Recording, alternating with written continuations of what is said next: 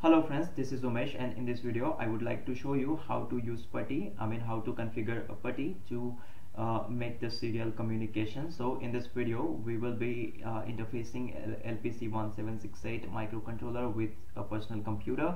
So I have written a code to configure the UART of LPC1768. So we will be using PuTTY for serial communication. I mean reading the serial data from LPC1768. So let's start. Just open PuTTY and once you open PuTTY you get this dialog box. And uh, in this dialog box you can see a very basic setting to configure a PuTTY you have to choose the serial uh, radio button.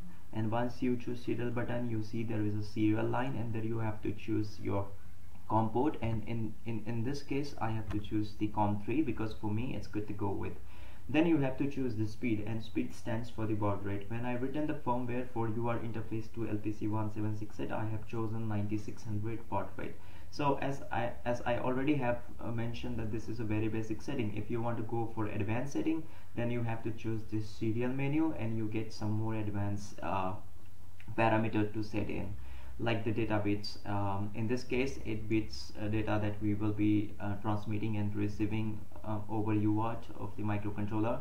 Then you have to choose the stop bits. It's okay to choose one for me right now. Then parity you have to choose odd odd even or none for me. It's none to go to go good to go with.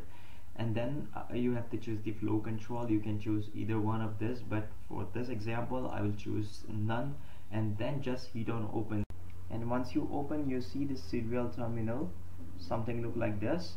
And to read the um, data from the UART of the microcontroller I have written a code. When I press S from the keyboard it reads the value from microcontroller. So let me press S once.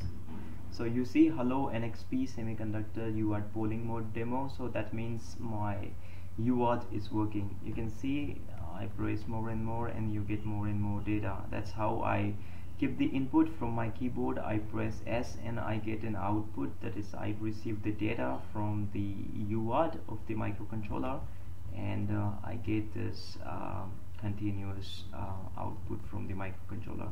I hope you will find this video educational and entertaining. Thank you very much